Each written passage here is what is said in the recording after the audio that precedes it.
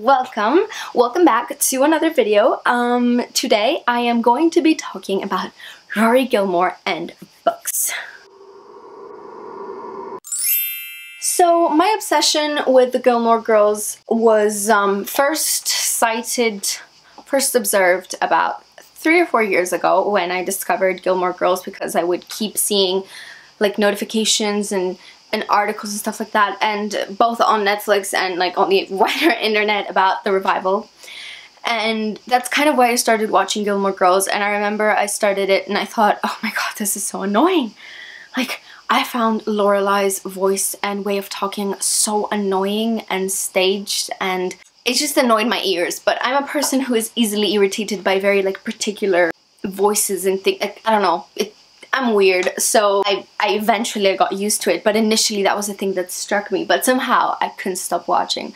I don't know if it was the, like, very white people in a white suburban area being super white about their culture and their coffee and their their daily life um, that attracted me even though I'm not American and the whole environment seemed very far from my own experience.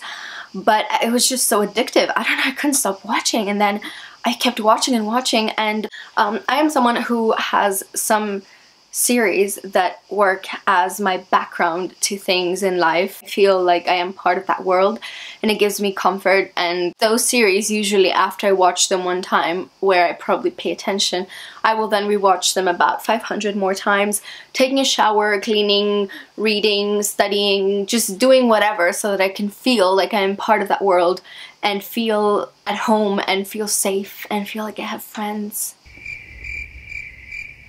Okay, um, that was my start and the reason I, I, got into Gilmore Girls is it brought me that comfort zone and it had been a while since I had found a series that had brought me that kind of like steady dose of this life that, you know, feels so welcoming and friendly. And Lorelai and Rory, obviously, the two protagonists, were a daughter and a mother with a very special relationship and that, in my opinion, is the most progressive thing about these this series, especially for when it was created, because for once, it was a series where everything centered around the daily lives of women knowing more women, and men were not the point, especially not sexual stuff with men. Um, as, even though, of course, we followed Rory's boyfriends and we're in different teams I'm not Team Jess, by the way. I just wanna just wanna say that. Um, I can do an entire video on why I'm not Team Jess. I know this is a very unpopular opinion, but I don't care. Honestly, pisses me off how everyone has forgotten Jess is a like person and all his issues, and they're like, oh, Team Jess, just because you know the revival was shit. Anyway, I'm not gonna rant about Jess. Not that he's the worst person ever, but you know, he doesn't deserve the whole Team Jess. I mean, Rory doesn't deserve a Team Jess anyway, because Rory is like a has changed personalities in the revival. Not as much as everyone says though. This whole thing, oh I identified with Rory, Rory was an angel and suddenly she's not. Not exactly true either, but we'll get to that in a different video. If you want me to rant about Rory and Jess and Rory and Team Jess, um, let me know. I don't, I'm not gonna do that now, but I did want to mention it because I know it's incisive. Okay, so basically that was great. And also I really liked how bookish the world of Rory and Lorelai was. Even if they didn't explicitly talk about books all the time, their references to intellectual debates or their references to pop culture, to films, to TV, to popular American personalities, more often than not celebrities, but also um, sometimes a bit niche niche things.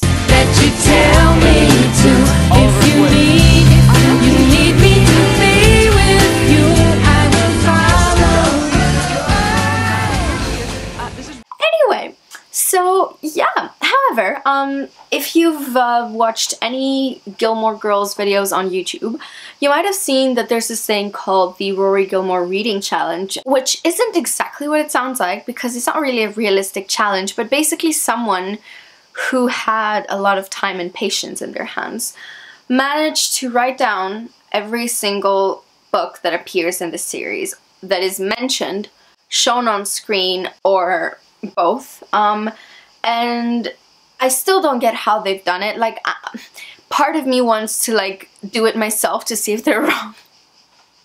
and part of me wants to really clap because it's such a difficult thing, especially given that in many cases you have to really zoom in and try and understand what that book that look I mean there's so many books appearing in this series even just as like decorative pieces and it like to me it sounds impossible to do that but you know I'm, honestly I'm very proud of the person who managed to do it. Now just to start off um, this whole research effort has not focused on the books that a specific character has read. So the whole thing that is like the, the Rory Gilmore reading challenge is not very accurate because these are not just books that Rory has read or that Rory owns, but they're just books that have been mentioned by anyone in this series as far as I'm aware.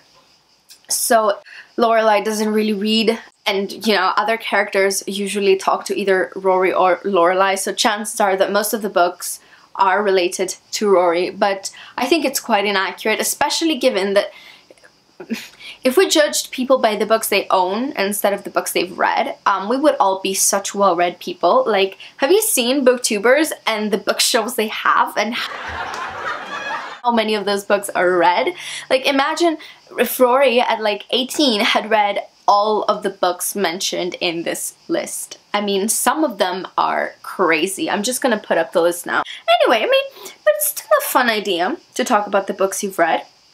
Um, although it's really not exactly what it sounds like. I mean, um, don't get me wrong, like I like the idea. I sometimes create lists on Goodreads where every single book mentioned in a book I put it in a list. I've done this with Patti Smith and the books she has mentioned in the M Train.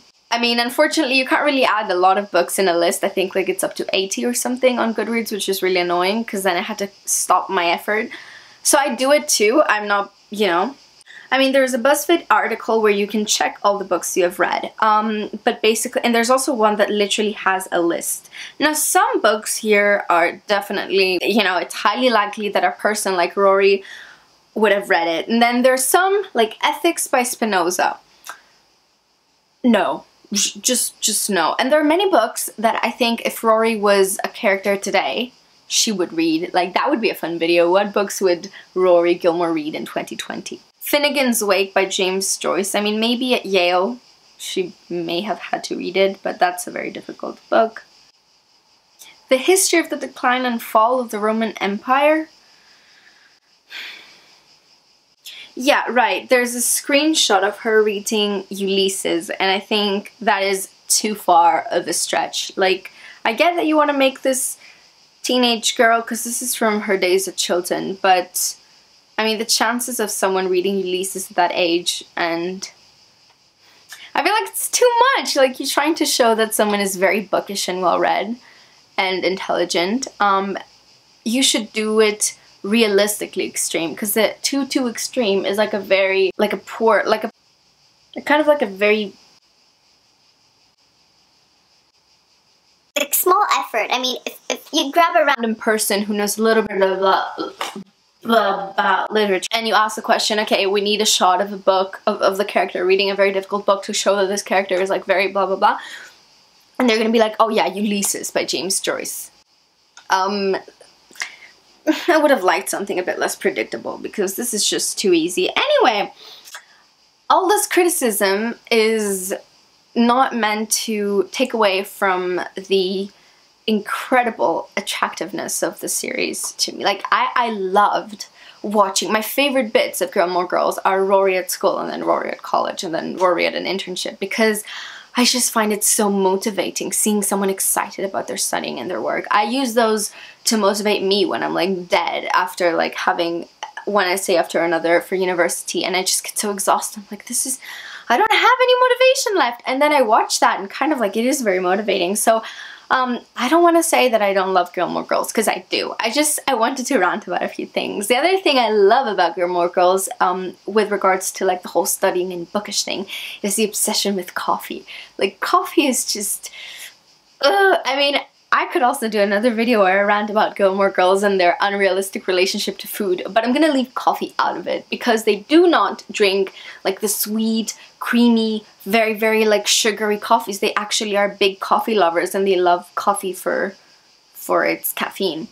So I love that. So yeah, just books and coffee just makes me feel like Gilmore Girls. And you know, when I'm in the mood to read and I make a coffee, I watch a few clips of Gilmore Girls and I'm like, oh, so please do not take my commentary as like any indication of um, my lack of, of love for this series. Even though I do recognize that in many respects it's not aimed at like it's a very white series. That would be my only complaint about Gilmore Girls is, I mean, it's not a series set in Russia. It's a series set in the US and the amount of people that, not just black people, people of color, not many people of color. Like literally the most prominent person of color is not even Lane. Lane is not even, Lane is like such a stereotypical, I'm gonna make the best friend Asian type of thing. The, the most like genuinely interesting person of color in the series is Michel because Michel is like, he's perfect. But that's not enough. Like Michel and Lane, it's not enough. I'm sorry. I don't know how they would they managed to make. I mean,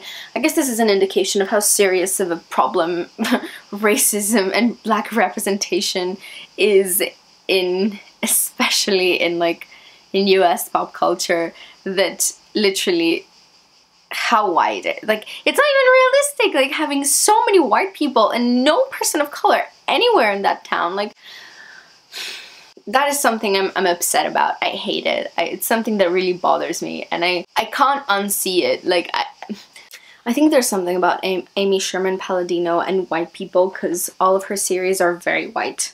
Like, Miss Maisel gets away with it by being about like a Jewish family group of people in like the 50s. When is it set on? Like 50s, I think. But that's, to me, that's not good enough. You're making a, like, and I love Mrs. Maisel and it kind of upsets me that I I can't love it as much as I would because I mean I love the first two seasons then then I think it got a bit like you know too too predictable because of how big of a success it was but anyway like I just it upset me and it was something that I thought about when I was watching it. Okay, so let's get to the last part of the video. What books have I read from the Rory Gilmore list? So, I've read 1984, uh, The Diary of a Young Girl by Anne Frank, um, The Bell Jar by Sylvia Plath. Really like The Bell Jar. Crime and Punishment by Fyodor Dostoevsky, one of my favorite, favorite, favorite, favorite, favorite books ever. Frankenstein by Mary Shelley, also a great book. The Great Gatsby. Who hasn't read The Great Gatsby? Harry Potter and the Philosopher's Stone. I've only read the first book of Harry Potter. I don't want to say that too loudly because I feel judged. I feel too judged. It's like saying you haven't watched Game of Thrones, which I haven't. Not necessarily on purpose. The Iliad by Homer and the Odyssey. Jane Eyre. The Kite Runner by Khaled Hosseini. I haven't read The Lovely Bones, but that was such a, such a terribly bad movie. Oh my god. Metamorphosis by Franz Kafka. My Sister's Keeper by Jodi Picoult when I was much younger. The Namesake by Jhumpa Lahiri. Very good book. We read it in school. The Diaries of Sylvia Plath. The Picture of Dorian Gray. Romeo and Juliet and A Room of One's Own. The Second Sex by Simone de Beauvoir. Um, I read this this year cover to cover and it's my biggest achievement so far and I'm very proud and it's such a hugely important book and also great and I highly recommend it. You should read it even though it's not very pleasant to read. The language is a bit boring but it's so worth it. To Kill a Mockingbird, who hasn't read that? The Year of Magical Thinking by Joan Didion. Okay, so that is a total of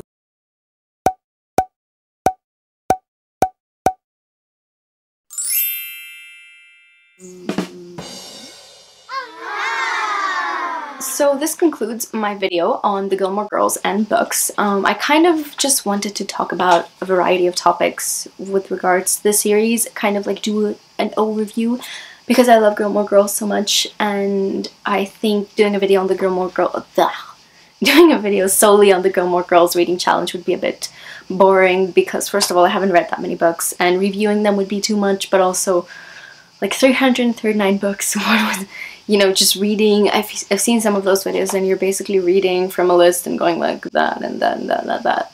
I'm like what's the point you know So, so yeah, I thought it would do a bit of a like a blended version of like a different things I've thought about um, with regards to the series. Um, um, let me know in the comments down below if there was any one of those topics that you would perhaps like to see in a future video.